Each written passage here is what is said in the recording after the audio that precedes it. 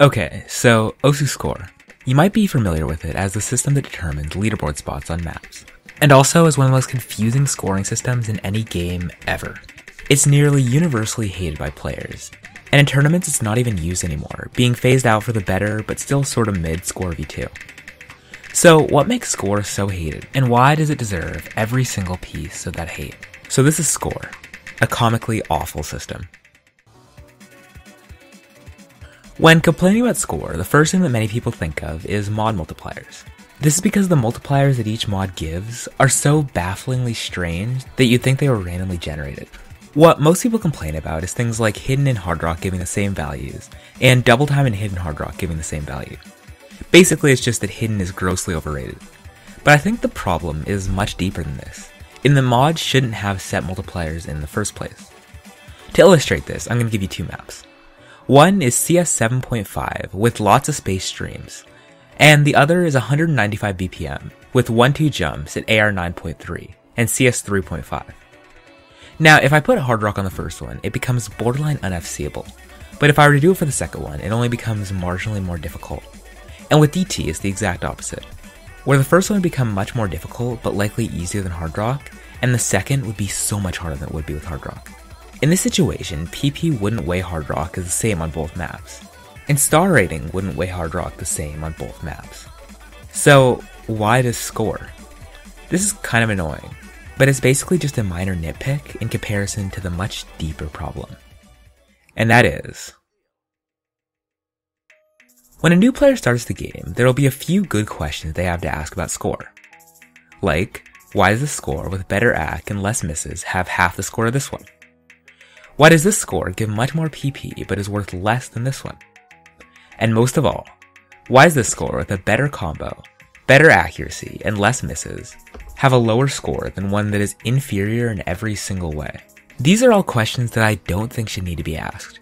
And the reason for each is the rotten roots of score. And that is combo multiplier.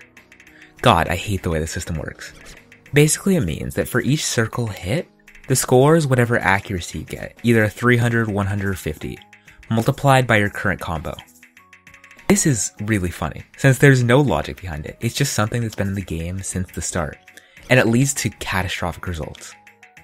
First is that combo becomes many multiples more important than anything else, leading to situations where the 1000th object of a map can be worth the entire first 100 combo. And then you have the fact that accuracy means different things depending on where in the map you get it. This is where the system truly breaks.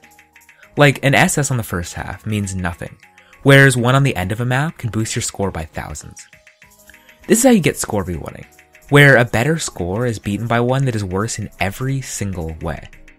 And then there's the icing on the cake, which is that Osu only submits your highest score, meaning getting score v1 doesn't just cost you a leaderboard spot, but also PP. With the best example for this being FG Sky, who has like three unsubmitted PP records. It has to be one of the most bafflingly annoying and confusing systems ever. But there is still a bit of hope, since there's a different scoring system used in lazer, one that was set up to become the new main system. So, if Score v2 was implemented, would we actually have a good scoring system? Well, sort of. Score v2 in most ways is a massive improvement, getting rid of combo multiplier and instead scaling up the value of notes slowly as your combo goes up. And it also changes hidden score multiplier. These are both highly requested changes that make it much better than Score v1. But you might notice one thing about both of them, and that they're both just slightly better versions of Score v1. Like, for example, on this map, I Score v2'd myself in the exact same way that you get Score v1'd. That feels awful to say. Like, I really don't want to be this guy, but if you're gonna leave the most broken part of the system in the new system, what's even the point? Like, in the end, I know Osu's an AIM game, so it's fine to prioritize combo, but don't interlink it with accuracy, because it breaks the entire system, which is why Score v2 really isn't that much better. So, in short, every version of Score is bad, and the one we have now is so broken that I would say it has nearly zero correlation with the impressiveness of a score. It's an archaic system that really doesn't have any place in the game, especially when there is a better, albeit flawed system that's already able to be played in the game.